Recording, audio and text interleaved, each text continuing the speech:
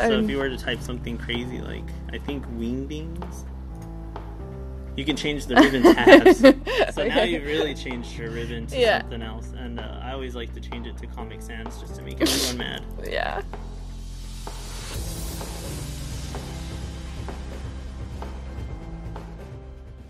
Hello everyone, I met John Pierson today, who's like the, the dynamo guy whatsoever.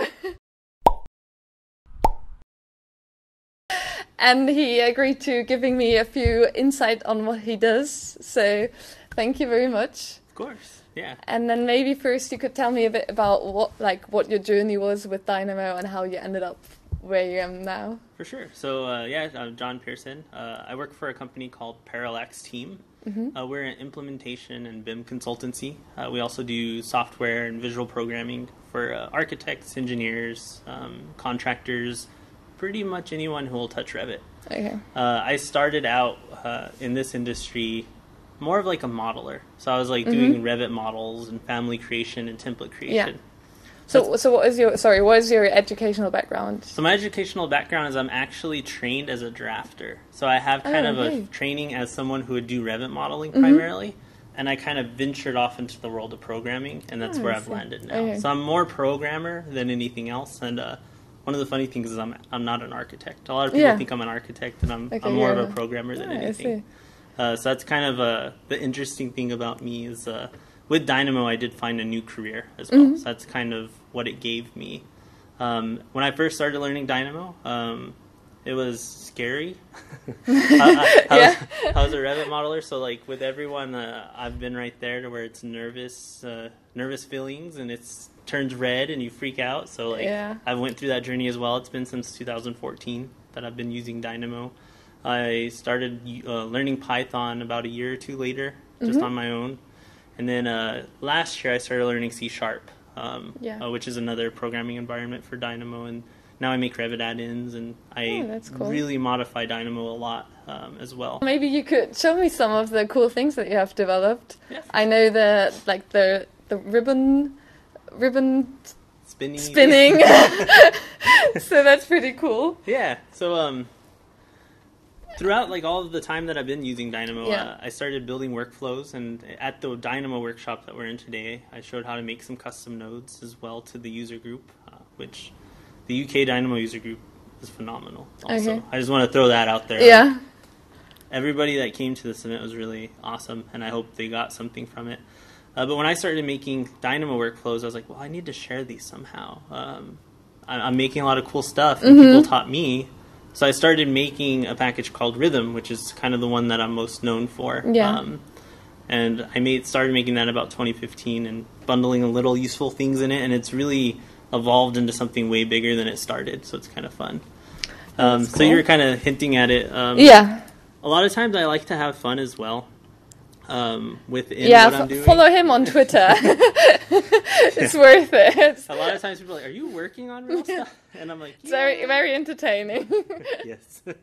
so uh, a lot of the time I think like, well, if I'm not having fun with it, like it's not really Yeah. worth it to me. So I'll have fun learning something one way, and it'll turn into something useful. Okay. So Okay. always try to have fun. That's kind of what I like to reiterate. To yeah, but also it seems like you're very into when something in Revit annoys you to change that and to make your own custom solution for that. Definitely, yeah. So anytime like either Revit or Dynamo sometimes uh, does something we don't like, we'll just we'll modify it by hacking at the API and doing some clever stuff. Uh, so one example that I kind of have open is um they got a lot of attention Yeah. was setting the color of your ribbon. So Oh. I actually ended up making this node called set color. Yeah. This was based off of code that was um, available on the on the internet from um, the building coder. Yeah. So he's a great resource if you're learning Yeah. coding, by the way. Building Coder. Um, so link to that. Um, he he shared this code, and I was like, man, I can make Dynamo nodes out of that. So if we do things like pick a color Mm-hmm. and just feed it to our node, we could start Ah. to really mess with the UI in Dynamo or in Revit in a really crazy way.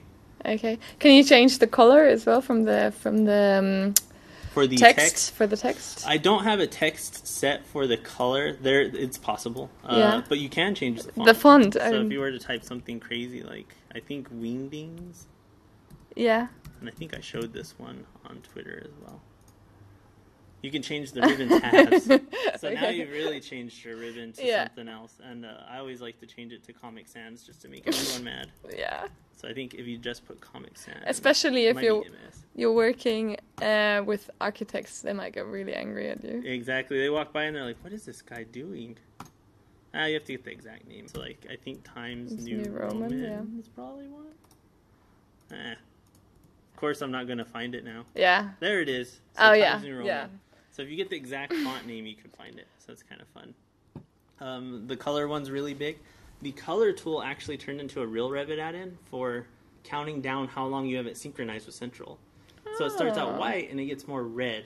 Oh, okay, 'Cause- that's cool. Because users always forget to sync with Central, so Yeah. now we have an add-in that we're still working on Cool. that'll gradually change it to red. so playing around turned into a serious tool.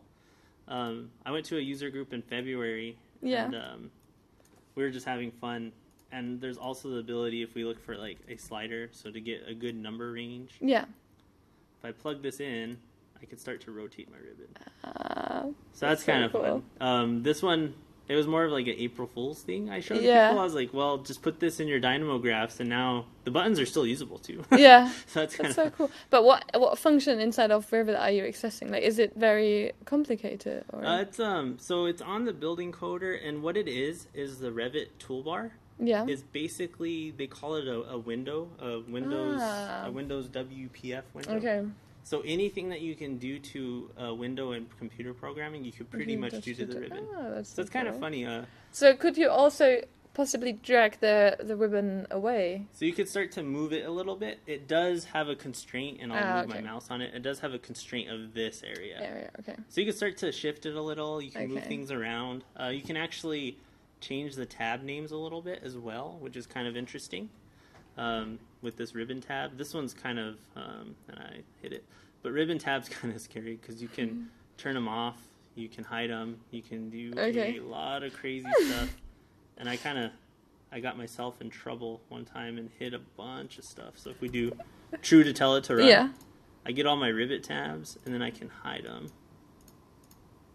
We'll do true for hiding them. So I hit a bunch of them and it like really moves them around so that true's showing. So if I do false, it shows even hidden ones.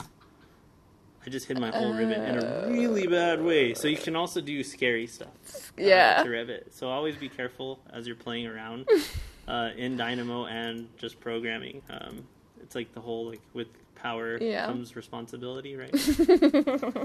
uh, so that one's another one that's it's in there, but I, Yeah. I don't suggest really Just using, using it. It was something I had fun making. yeah, that's cool. So yeah, that's um, those are more of the weird things. Um, just on a broader level though, and we showed them in the workshop today. Uh, I make nodes that help you do things that you can't Yeah. do in regular Dynamo. So open documents in the background, Yeah. upgrade them. Yeah, or the whole uh, UI kit, the user interface kit, I found very. Oh no, that wasn't. Is that not the Yeah, one? Yeah, so I, I have um, um, I have a color picker that's a UI, and I had some user messages. Yeah. Uh, with data shapes, the custom package we showed today, he he does it better. So Okay. I I went ahead and retired mine. Uh, so use his. Okay. So that's well, kinda- I think weren't you also the one who like had this plugin that when you want to create a model in place that Oh, will yes. restrain you from doing so? Yeah, this one. place, yes.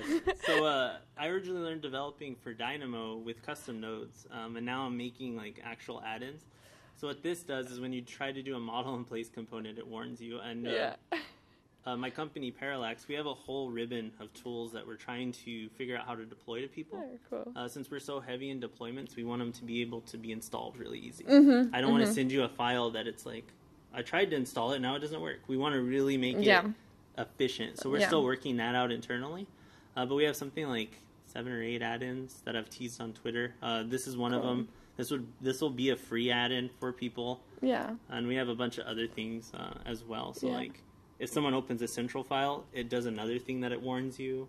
Uh, if you uh, there's a lot. Yeah, yeah. I, um, I saw when you posted the the teaser about the uh, model in place. I think a lot of people commented, "Oh, please make it also restrain people from doing this and this and this." All, so a lot all of the ideas. all the things that people can mess up. For sure. And that's one thing I like about like the whole Revit and Dynamo community is if you have like a little idea, someone's all, well, what if this happened? You Mhm. know?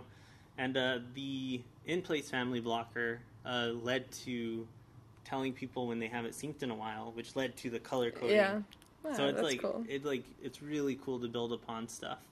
Um, it's an awesome ways, and then I still even have like that one just rolls it Yeah. around. That one does nothing really that useful, but it's showing an idea can lead to something. So that's kind of one thing I like a lot. Wow, that's very cool. And Thank then- you very much yeah. for showing me. Yeah, for sure. Awesome. Um, and uh, yeah, if there's any questions, reach out to me on Twitter. Um, Yeah. Of course, I'm always trying to be very helpful. His channel is called 60 Seconds Revit. Yeah. But I will, of course, also link it. And then, yeah, well, have a nice flight back to America. Yeah, thank you, and thank you everyone for having me. Yeah. awesome. Thanks.